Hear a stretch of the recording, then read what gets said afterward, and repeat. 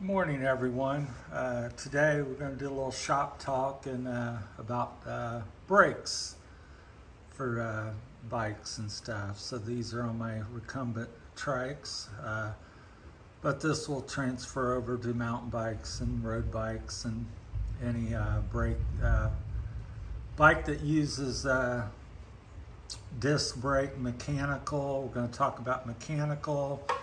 Over here we got some Hope Hydraulics. We'll talk about that. And we're also going to talk about uh, drum brakes as well. I have experience with uh, pretty much all the different types of brakes. Uh, V brakes, uh, U brakes, uh, cantilever, you name it. Uh, I've had it. Been cycling for 40 years or more. So, but uh, today's topic will be uh, hydraulic versus mechanical versus drum brakes.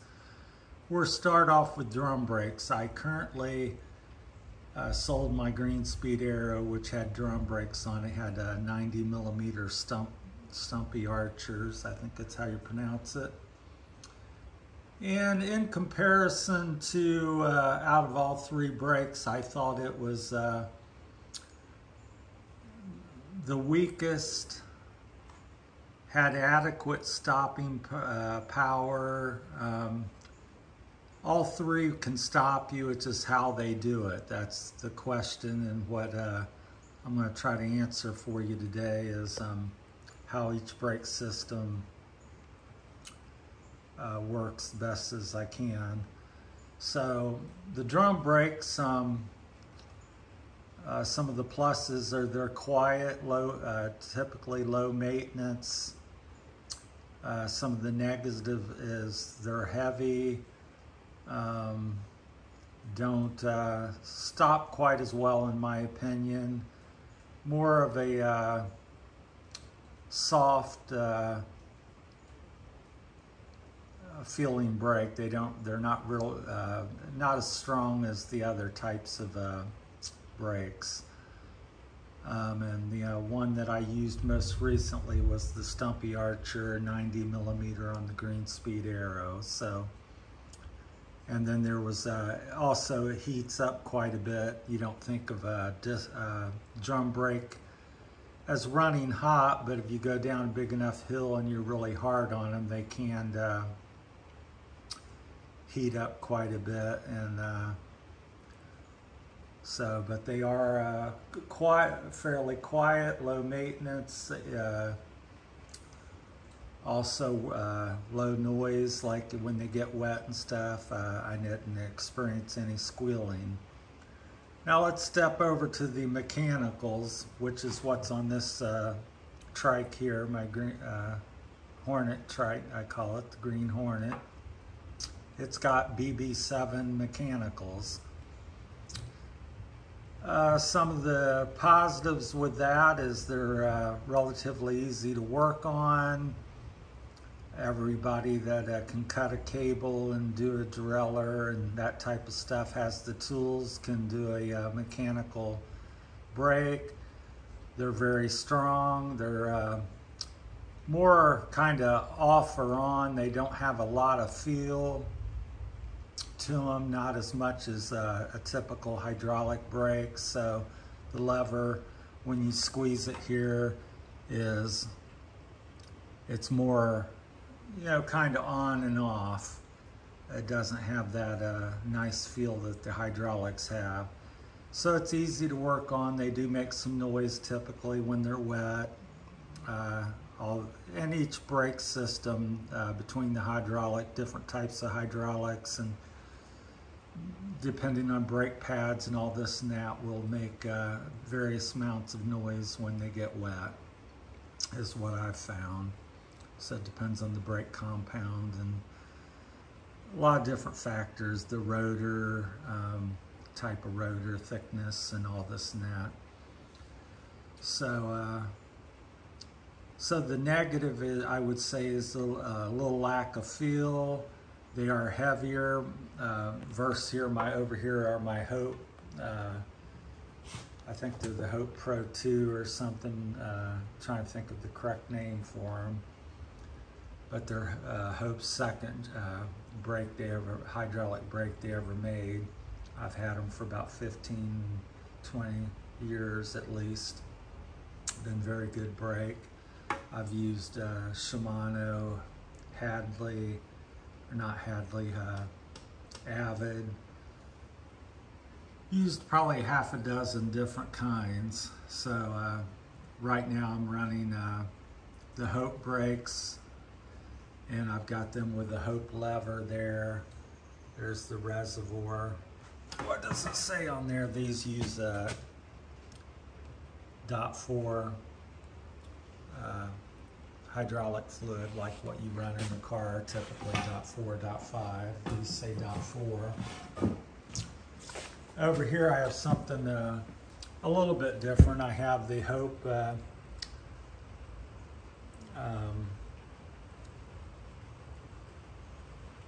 brake uh, ro uh, rotor as well, and that's 130 as, as well as the Hope caliber.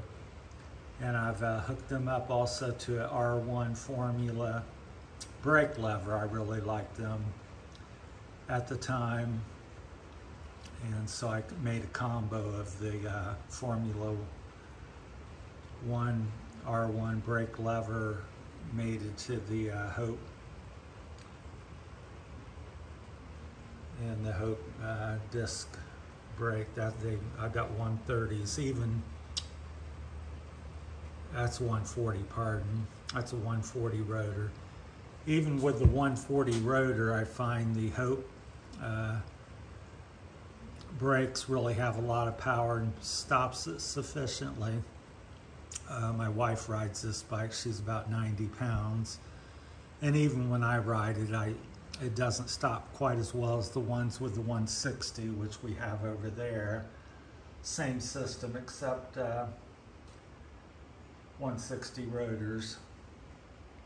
So that stops very well. Out of all the bikes that I own, the Hope with the 160 rotors stopped the, uh, the best. And I would say second would probably go to the Hope Formula One R1 levers with the 140 uh, rotor, and then third would be the uh, BB7 uh, disc brakes. Although they're uh, mechanical brakes, they're very uh,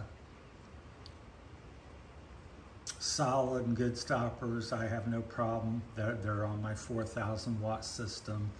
The other two bikes are 3,000 watts. So uh, don't really have a problem with them other than the lack of feel and they're a bit heavy and the levers are not quite as nice. Also you have, uh, I'm jumping around a lot here because different things come to mind, but uh, also the, uh, on a hydraulic, which we have over here, the pads are self-adjusting.